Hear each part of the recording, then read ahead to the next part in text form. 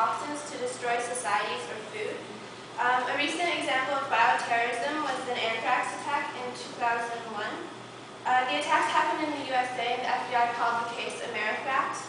The attacks began in September and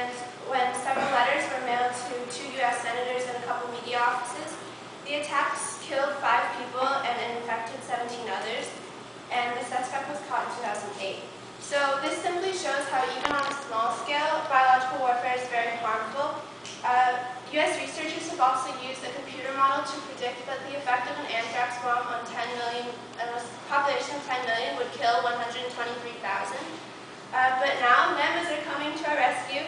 Uh, they might help us if the end were to come from a biological weapon.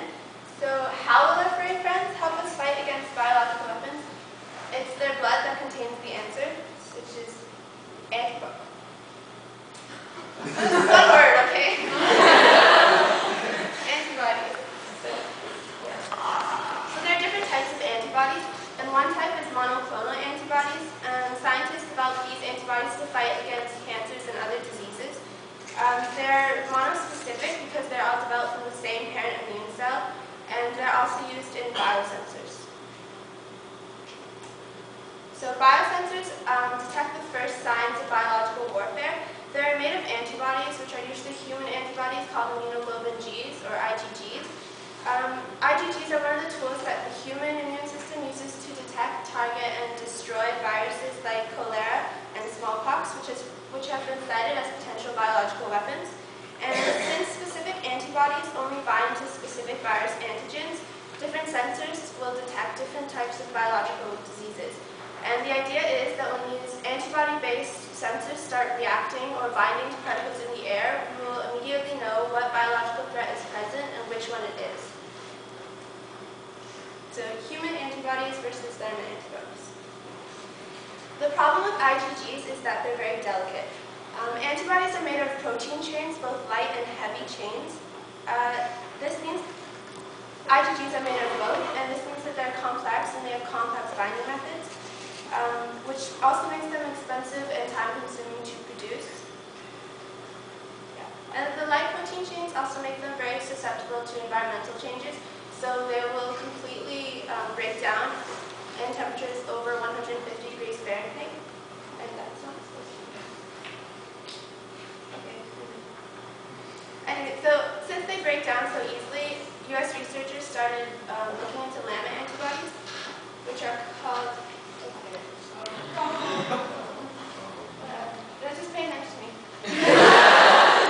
okay, llama antibodies are called single domain antibodies, and previous research, research and studies have shown that llama antibodies are much stronger than human antibodies, and they also have a very small binding region, approximately one-tenth the size of the human antibodies.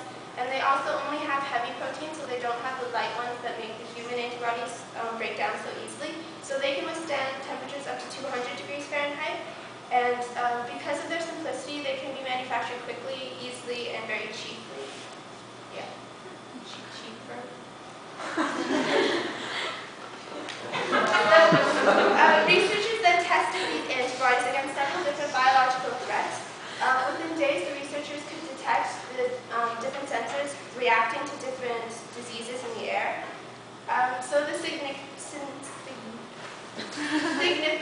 is that uh, with more research and to develop these sensors further, um, they could be used to warn against biological, like smallpox and anthrax.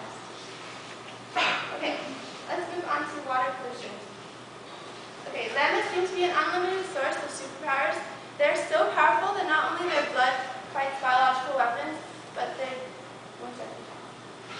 droppings fight water pollution. Uh, the, these magical droppings are being used to treat poisonous water runoff from tin and silver mines in Bolivia. This idea was first brought to the table by Paul Younger, a professor of hydro, hydrogeochemical engineering in the UK, and it was supposed to help poor communities improve the quality of their water supply. So Bolivia is currently having its water polluted by water runoff from mines. Low-tech bioreactors are being used to harness the living microbes in the manure um, and neutralize the acidic water and, and the dissolved metals. Many regions of many countries were heavily invested in the mining industry, and now these regions are no longer profitable, so they've been abandoned, which leaves ghost towns and abandoned. One second. Yeah. llama dung solution is currently only being applied in Bolivia, but with more research, this could save thousands of cities from the same problem. And because environmental issues are becoming of the utmost importance, it's very important that we find uh, different ways to preserve what we have. So llama dung and limestone absorb high levels of acid, which especially helps the byproducts of mining since mine water is very acidic. Uh, the cleansing process requires the creation of bioreactors. Uh, bioreactors can be wetlands and they have a base of compost and limestone, and this method is called bacterial sulfate reduction. but anyway, uh, the, the, the compost and limestone use dissolved sulfate for energy, which produces sulfide. The sulfide then reacts with the dissolved iron and traps it as iron sulfide, and then it traps it in the bed of the bioreactor, so it takes it out of the water, and the process raises, oh, process raises the pH level of the water and it generates alkalinity, and results from tests show a drop in 16% in sulfate and a raise in 3.1 on the pH scale so it works. Um,